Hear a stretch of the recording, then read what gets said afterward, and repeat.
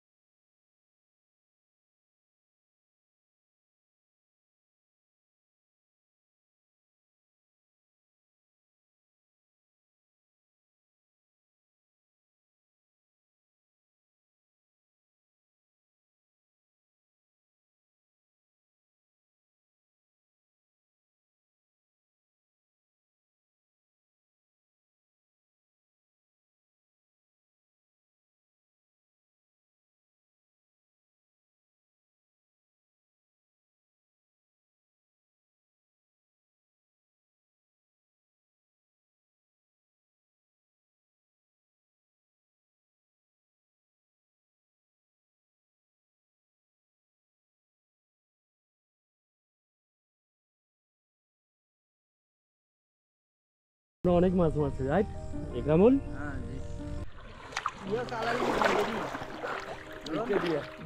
ওটা বন্ধ করে রাখছি। আরে টাকা শুনে কি করে? একরামুল কি মাছ পাওয়া যাচ্ছে? ছোট ভাই একরামুল এই চাল কাটা নদীতে অনেকদিন পর আসছি। এদের শামিম তোমার নাম বলো। আর আমি? আমরা ঈদের সকালে সকালে আমাদের গ্রামের পাশে যে তালকাটা নদী, এই নদীতে আসছি গোসল করতে। আপনাদের সাথে এই আনন্দঘন মুহূর্তগুলো শেয়ার করছি।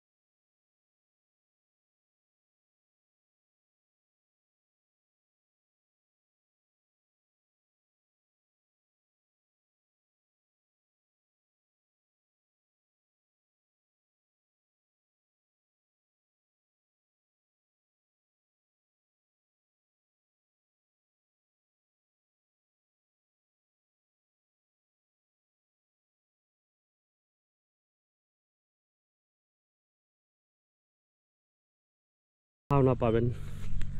এই নদীর স্রোত দেখুন। কীভাবে আমরা এগুলো কুচরিপানা বলি। আর কেউ দল বলে কুচরিপানা এই যে দেন কুচরিপানা কীভাবে যাচ্ছে। গ্রামের একটু গভীরতা কতটুকু হবে? পানির গভীরতা? পনেরো ফিট ও। এই যে কুচরিপানা যাচ্ছে কীভাবে। এই দলগুলোর উপর দিয়ে কদিন মাছ হাঁটলো ওইখানে যে দলের উপর দিয়ে হাঁটলো তাই নাকি? হ্যাঁ এই দলগুলোর উপর দিয়ে হাঁটলো ভাঙি ভেঙে ওই পাটটা হচ্ছে গাংবের। এটা হচ্ছে আমাদের কাছে ইন্ডিয়ার মতো লাগে। কারণ আমি ছোটবেলায় থেকে এ পর্যন্ত সম্ভবত দুইবার সম্ভবত দুইবার আমি ওই ওই পাড়ায় গেছি। এই পাড়া দূর তো যদিও হাফ কিলোমিটার নয় তাই না? একরামুল হাফ কিলোমিটার হবে? না হাফ কিলোমিটার হবে না। তারপরও জীবনে আমি দুইবার গেছি ওই জায়গায়। তারপরে এটা আমাদের কাছে একটা বর্ডারের মতো। এর কারণ হচ্ছে ওটাই নদীর ওই পারে ই হওয়ার কারণে। একরামুল আমরা একটু হাঁটি কোন দিকে যাব? এই প্রান্তে যাব না আমরা এই দিকে সামনে যাব? ছোট ভাই একরামুল একরামুল তোর কিছু নদী নিয়ে কিছু মনে পড়লে বা এই নদীর পরিবর্তন গতি গতিপথ কোথায় ছিল এখন কোথায় এটা যদি একটু আমাদের জানাইতিস। আসলে এই নদী তো ছিল ওই ওই কর্নার দিয়া। ওইদিকে? হ্যাঁ এই নদীর কারণে তো আমাদের বাড়িঘর সব ভেঙে পড়ে গেছে। এটা নদী খনন আসার কারণে এটা খুঁড়ে এটা সাইড করে নেওয়া হয়েছে। আর খরা খনন করার যে সুবিধাটা হয়েছে সেটা হলো বন্যাটা উপরে উঠতেছে না নদী নদী যাইতেছে। আর না হলে এতদিন নদীটা মানে এই এই পানিতে ভরে যাইতো। এই এই সরাই ছেড়ে এদিকে চলে যাইতো। এই খনন করার কারণে পানিটা নিচ দিয়ে বেশ সুন্দরভাবে যাইতেছে। আমাদেরকে মানে একটু হলেও সেফটি দিচ্ছে যে ভাঙন থেকে সেফটি হয়েছে খনন করার কারণে। হ্যাঁ হয়তো বা বড় বন্যা হলে এটা টেকাল দিতে পারবে না।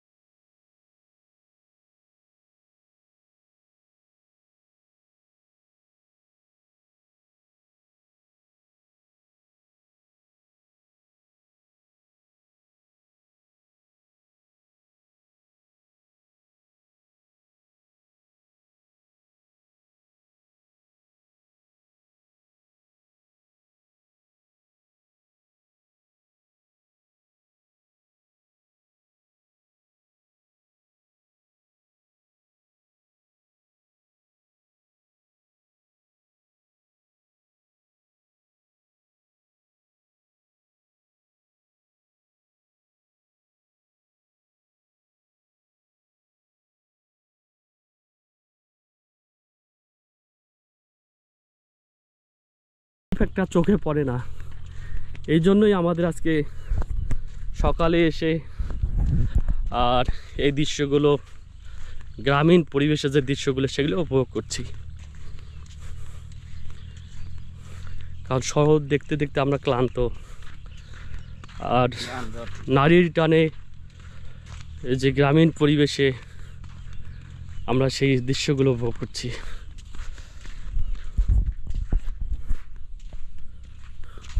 নদীর ওই পারটা হচ্ছে গাংবের। কোনো একটা মানুষ নেই পর্যন্ত, তাই না, একরামুল?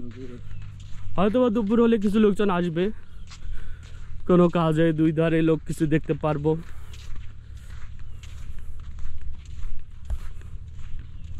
কিন্তু এই মুহূর্তে আমরা কাউকে দেখতে পাচ্ছি না।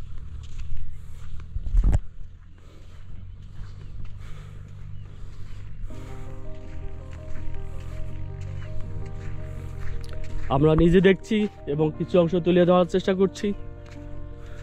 আপনারা যদি কাউ কেউ দেখে থাকেন, অবশ্যই আপনারা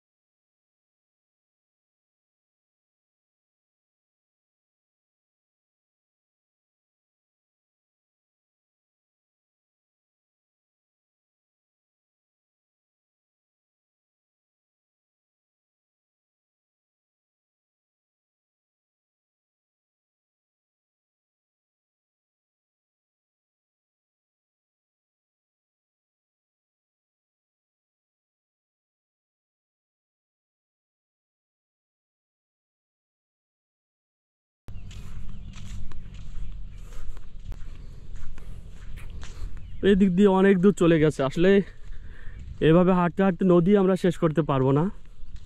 এটাই হচ্ছে চারাল কাটা নদী। আমরা এখন জনমানবহীন শূন্য এলাকায় এই বালুর প্রান্তরে আমরা এখন দাঁড়িয়ে আছি। চারালকাটা নদীর পাশে, ওপরে গাংবের। আমার লোকজন দেখতে পাচ্ছি না। আর আপনাদেরকে বললাম, এই গাংবেরটা হয়তো আমার জীবনে দুইবার গিয়েছি। বরঞ্চ এখানে হাফ কিলোমিটার তো প্রশ্নই আসে না, কয়েকশো গজ দূরে। শুধু এই দূরত্বটা এই কারণে যে নদী হওয়ার কারণে দূরত্বটা এরকম হয়ে গেছে। কারণ আমাদের কাছে এটা বর্ডারের ওই পার মনে হয়। রাইট একরামুল? বর্ডারের ওই পার মনে হয়। যদিও আমরা সাঁতার জানি, ইচ্ছা করলে সাঁতার কেটে আমরা যেতে পাবো। কি কেন ওখানে অনেক পাক হচ্ছে।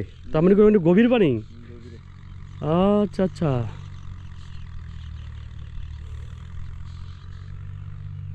একেবারে শুনশান নিরবতা। আমি পুরো ছাদটা থ্রি সিক্সটি ভিউতে ঘুরে দেখাইলাম। তো ঠিক আছে, আজ এ পর্যন্ত ভালো থাকবেন। আল্লাহ হাফেজ।